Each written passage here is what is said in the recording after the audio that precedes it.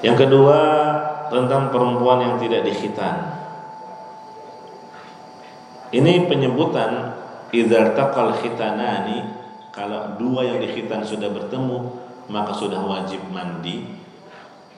Karena keumumannya perempuan di masa itu dikhitan ya dikhitan tapi bukan berarti kalau istri nggak dikhitan nggak wajib mandi karena kata Nabi yang wajib mandi itu kalau yang dikhitan iya nah kalau yang nggak dikhitan gimana ya tetap wajib itu kan cuma bahasa keumumannya perempuan adalah dikhitan Adapun hukum khitan itu sendiri bagi wanita bukan wajib. Beda dengan laki-laki wajib berkhitan. Kenapa? Kok beda hukumnya? Karena kalau laki-laki itu terkait dengan keabsahan sholat. Iya kan? Kalau dia nggak dikhitan, maka air kencing akan tertahan di kulit yang menutup kepala zakarnya. Iya, sehingga ada tersisa di situ. Dan itu mengakibatkan sholatnya nggak sah.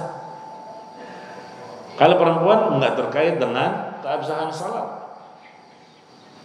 tapi terkait dengan libido seksualnya.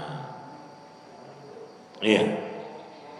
Kalau terlalu dalam, dingin,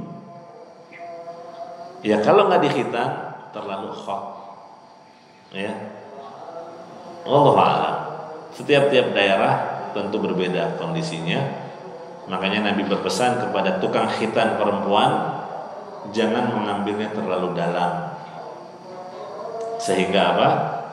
E, dingin syahwatnya ya tidak bergairah atau kurang ya kan nanti kasihan suaminya iya nah jadi kalau dikhitan itu disebutkan dalam bahasa Arab apa e, lebih indah di mata suami dan lebih bisa mengendalikan diri.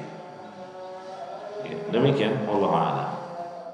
هذا صراط مستقيم